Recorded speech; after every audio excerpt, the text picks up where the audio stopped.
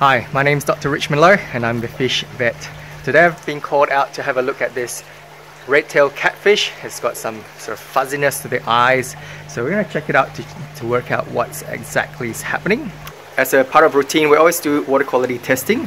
And what we found is that this tank has been set up for about a month or so and we're looking at new tank syndrome so we've got uh, ammonia at about 1 milligram per liter nitrite at about 2 milligrams per liter, nitrate at about 25 mg per liter, pH sitting at neutral at 7.0 and the alkalinity is at 3 degrees. And so at the moment what I'm thinking is that the cycling biological processes for the biofilter is occurring because we do have uh, both nitrite as, and as well as nitrate being produced uh, but we're sort of at the second stage where nitrite is becoming toxic. Uh, what I believe happened to these uh, red-tailed catfish is that it suffered ammonia burns previously. It would have been higher than at 1 milligram per liter despite um, constant uh, fairly regular water changes. So the ammonia is actually a direct cell toxin. It will burn the tissues. I've seen lots of fish with uh, skin ulcers, fraying fins, and I believe that the there's a damage to the cornea of the eye. And secondary to that um, damaged uh, epithelium over the eye eh, we're getting sort of saprolegnia or fungal infection setting in. So what we're going to do here for this particular patient we're going to uh, sedate him have a look at see what sort of damage has been happened to the eye and see if we can rescue the eye by just some gentle debridement and topical um, antiseptic together with some antibiotics. And the other part of here of what's happening in this um, pond as well is that it's got a, a nitrite issue uh, sitting at 2 milligrams per liter. That's pretty toxic. So what we want to do is we want to increase the pH so that will reduce the uh, toxic nitric acid um, form of, of nitrite and uh, we're also going to add some salt uh, we're just going to use some aquarium salt and this will competitively inhibit the uptake of nitrite, uh, rendering the nitrite that's in there less uh, toxic. Also what's happening here is that the owner is going to do some fairly major water changes as well and that um, is the thing where aquaculture say dilution is the solution to pollution so uh, we're going to do that as well so after the water change we're going to add the bits and pieces. Right now what we're going to do is we're going to catch up our patient, put him in our um, anesthetic bath. Um, the anesthetic bath hasn't been prepared yet.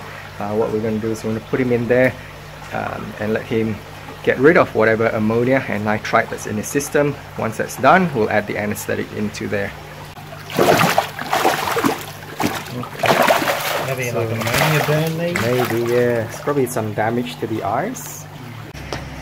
Right, so in the transfer of him into here, you can see that uh, one of these bits of infected tissue has come off. And that sort of fluffy appearance to it is pretty classic for saprolegnia. So put that down the microscope just to show you what that looks like in a, in a while. And you can see here and here there's a bit of redness on the opercular membrane yeah.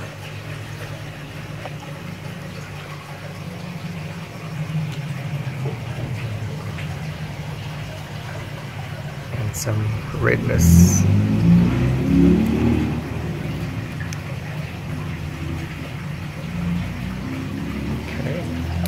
I'll do is I'll add some antibiotics into this water as well. Um, and then that way he'll absorb it and then I'll add the um, fish bandage over the top and then later on whatever antibiotic that's in the solution will sort of absorb and stay um, on this on fish skin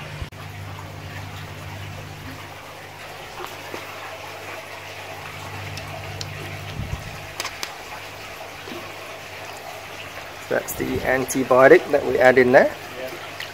Um, yeah.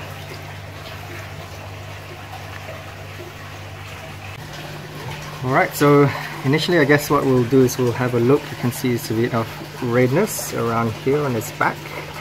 Um, and you can see in between the, the gill uh, membranes, it's really ulcerated and red. Uh, this one here is just from likely from transport. Uh, but you can see down here it's been sort of sitting on there, but you've got ulcerations there as well. Um, and on the ventral fin. Okay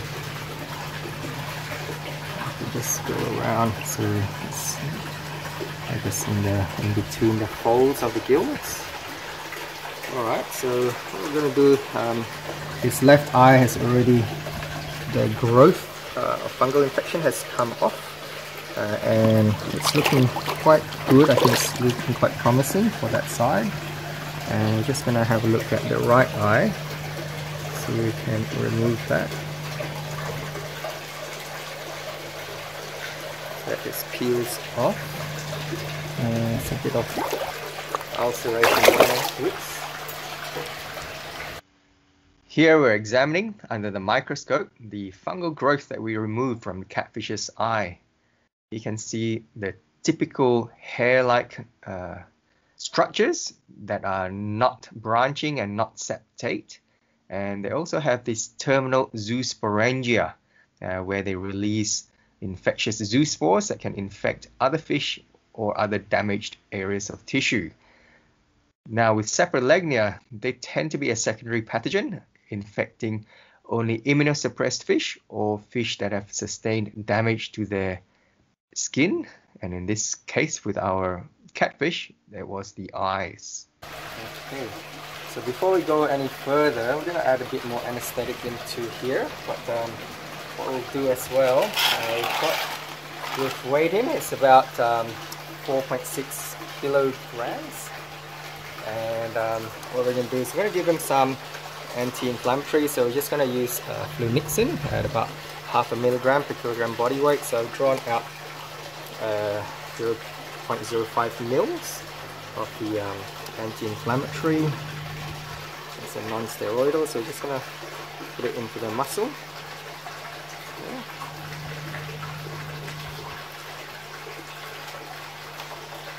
In terms of um, antibiotics, plus you can get secondary bacterial infections, uh, we're just going to use, well, this package is, is a bit broken, but it's uh, enrofloxacin, about 5 milligrams per kilogram body weight, and that works up to about half a mil.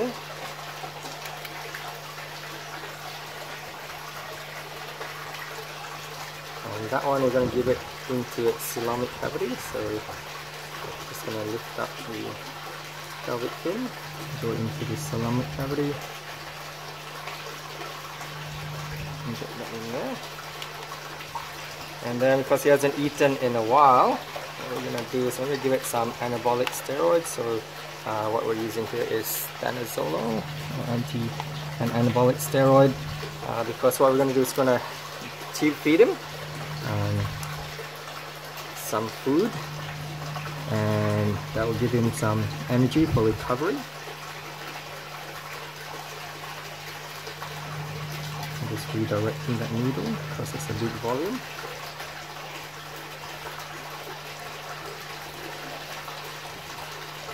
Okay.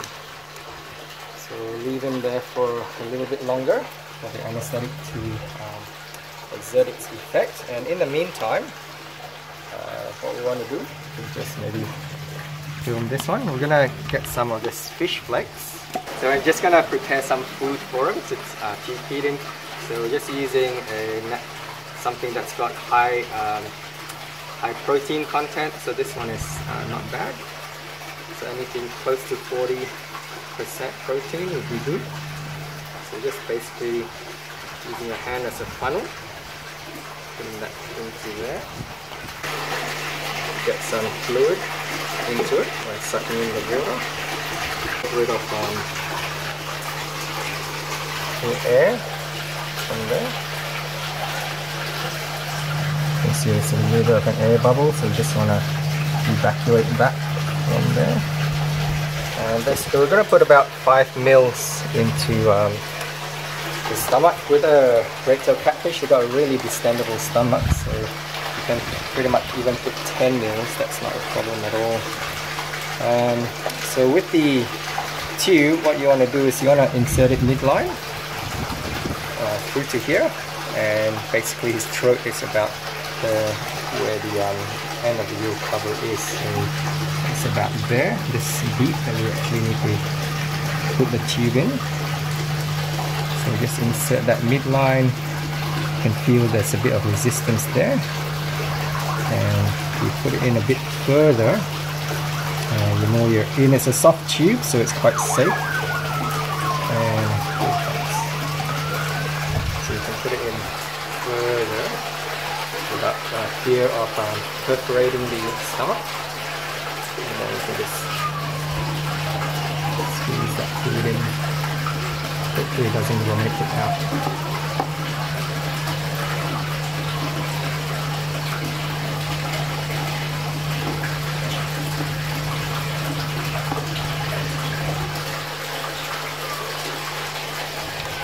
Pulling out the tube, you can feel a bit of resistance. That's because his throat uh, teeth, the pharyngeal teeth, are sort of gripping onto that. Um, so you know you're in the right spot. Okay, so now our patient is reasonably anesthetized. What we're going to do is we're just going to debride the surface of the eye.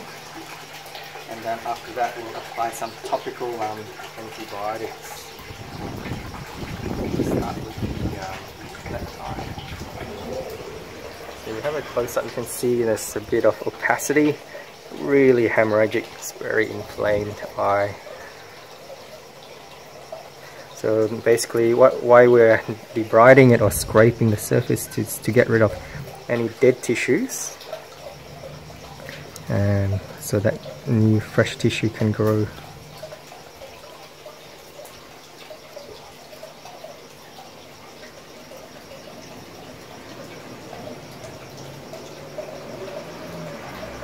Is going to be a painful um, procedure so you want them to be suitably anesthetized and also uh, using a scalpel blade that close um, you want to make sure that you don't slice it open if it moves. So I've just uh, applied some injectable antibiotics uh, as a topical treatment and using my fish bandage here and then that's going to hold the antibiotic where you want it. Okay.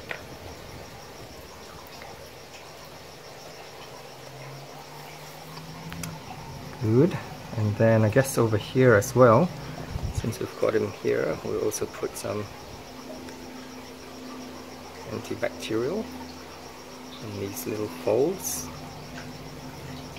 Ammonia is a direct cell poison and it can cause necrosis of the epithelium affecting the eyes, gills and skin.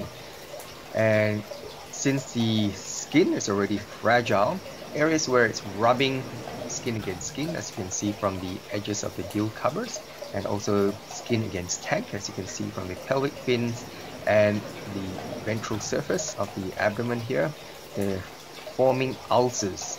These skin ulcers that are caused by ammonia burns can get secondarily infected. So what we're doing here is we're applying layers of antibiotic and our fish bandage. For this eye here, we have uh, evidence of infection from fungal disease, saprolegnia. So we're going to debride this fish uh, area to get rid of any infected material so that we can layer our antibiotics and fish bandage together to prevent further infection setting in. You have to be very careful that we do not cause any further damage to the cornea, uh, otherwise you could get a melting ulcer forming where the lens could pop out and you're unable to save the eye. The choice of antibiotics that we use is enrofloxacin. It's one that we can give systemically as well as topically as shown here uh, because it's also a broad spectrum antibiotic and not one that can cause immunosuppression like the tetracycline could do. Now we'll pop him back into the tank since his treatment is now complete. Just waking up from his anesthetic, still a bit groggy.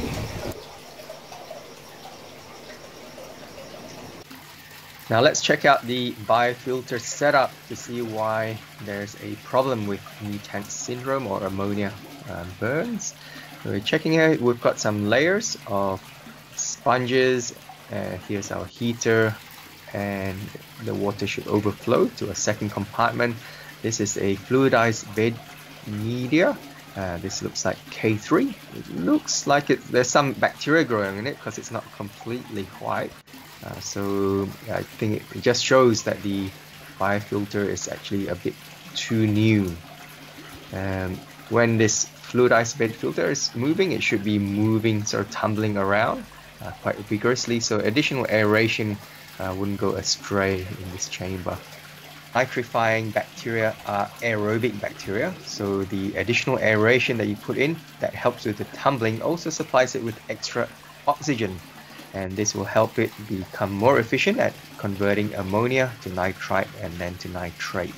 Okay, so as our catfish is sort of perked up a little bit, um, we've done sort of halfway through a water change. We're going to add bicarb as well as salt and you can see so swimming around a little bit more. So keep an eye on him. I'll give you an update on how he's doing yeah, thank you for watching. Make sure you subscribe to get updates of our future videos and have a fantastic week.